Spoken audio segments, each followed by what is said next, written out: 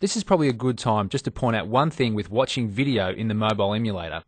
As we know, when Flash runs on the phone, it uses the phone's default video codec to play the video. When we're previewing the application in the mobile emulator, Flash is using the QuickTime plugin on your desktop system to display the video.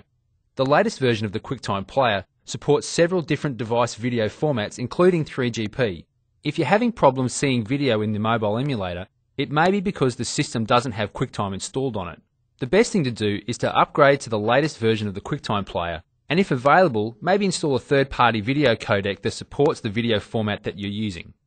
Now we mentioned how using bundled video while building out the file size of your application improves the reliability and portability of the app. You'll notice in the emulator at the moment, underneath the test device drop-down list on the top left, you'll see we've got some information about the SWF file we've created. Specifically, I want to draw your attention to the kilobyte size of the application we've just created. In this case, 127.23 kilobytes.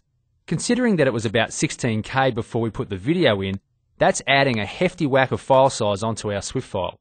Working with external device video is a way to keep our SWF file small while still being able to play the video.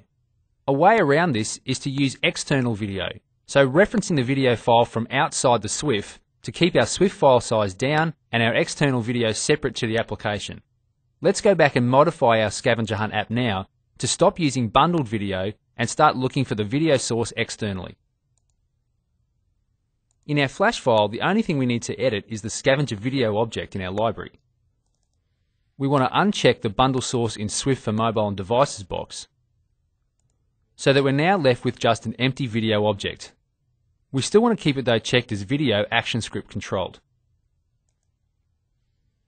If we click on our video object now and look at the property inspector, we can see that the source information has changed from the name of the file to none external video. Now we need to go into our class file and add the code to reference the external video rather than just play the bundled video that we had in there before. In our onPlay video method, we want to change this simple play method to actually play and include the URL to the external video. In this case, it'll be media, video, and welcome.3gp. This is all we need to change. Now when we use the play method on our video object, it'll be referencing this external video source and insert that into our video object on our stage. Let's save it and test it. We should now see exactly the same thing displayed, but the SWF file of our application will be much smaller. And straight away, if we look at the top left of our emulator, we can see that the application is now 18.77k, a huge reduction from 120 odd from before.